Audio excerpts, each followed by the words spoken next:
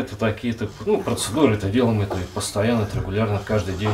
Упражнения, массаж, лечебные процедуры и гора лекарств – это будни четырехлетнего Дани Кузнецова. Благодаря ежедневным занятиям мальчик умеет, пусть и недолго, удерживать голову, есть с ложечки, улыбаться. Для семьи Кузнецовых счастье наблюдать за каждым движением сына. Еще в роддоме ребенка начали мучить судороги, а врачи готовили родителей к худшему. Врачи сказали, что это ничего же это сделать это не смогут, это, ну, так сказать, это не выход власти, это все ну, это возможно, что будут отключать, ну, тоже вот этот, этот аппарат вот, вентиляции легких, ну, искусственный, для поддержания жизни.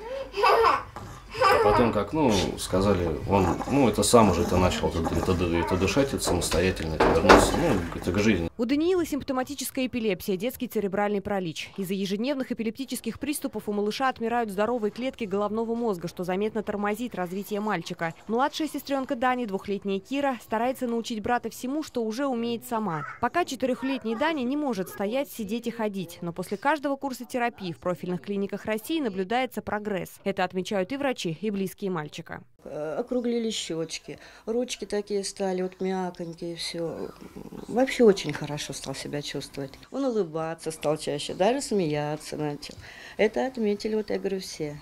Чтобы Даня Кузнецов освоил новые движения и звуки, важно продолжать лечение. Но для поездок в реабилитационные центры мальчику необходимо удобное кресло-коляска, технические характеристики которого рассчитаны на сложные диагнозы малыша. Лечащий врач подобрал Дане подходящее оборудование. Его стоимость 91 272 рубля. У семьи Кузнецовых нет таких денег. Помочь Дане может каждый. Достаточно отправить смс на номер 5542 со словом «дети» на кириллице или латинскими буквами. Сообщений может быть сколько угодно. Главное Главное – подтвердить перевод денег, если об этом попросит мобильный оператор. На данный момент мы пользуемся вот этой колясочкой, которая не приспособлена для нашего ребенка совершенно. От государства мы получили коляску, она очень огромная, для него ему там неудобно было сидеть.